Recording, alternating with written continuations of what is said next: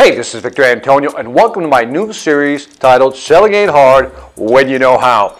Now, today I want to start out this series by asking you a key question Why are you in sales? Why would you want to be in sales? I need you to answer that question. Really, why are you in sales? Because once we understand why we're doing what we're doing, that's the motivation that'll drive us. That's the fuel. But if we don't understand why we're doing something, as soon as we face some type of adversity, we're going to what?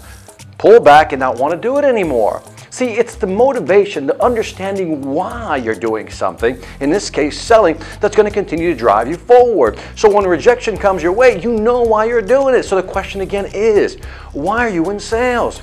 Is it about the money? Well, I hope so, because if you're in sales, it should be about money, but it's also be about providing value. Remember, that's two sides of the equation. Making money, providing value. That's the win-win combination.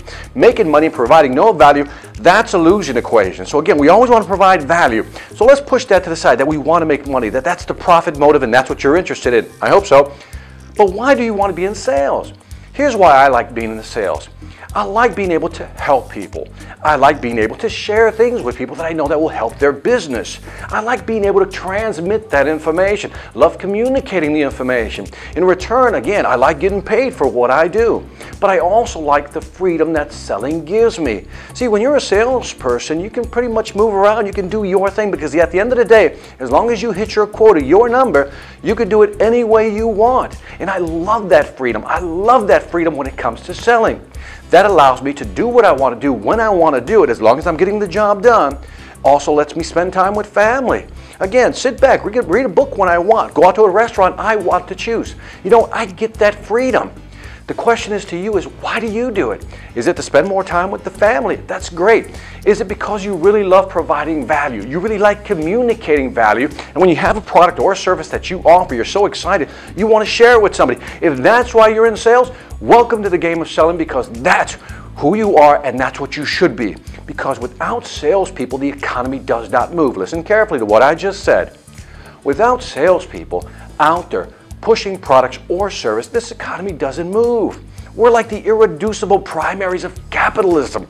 We're the people that make things happen because nothing happens until something is sold, and that's where you come in as a salesperson. So remember that. So when somebody tries to look down on you because you're a salesperson, just remind them without you, nothing moves in this economy. This is Victor Antonio reminding you selling ain't hard.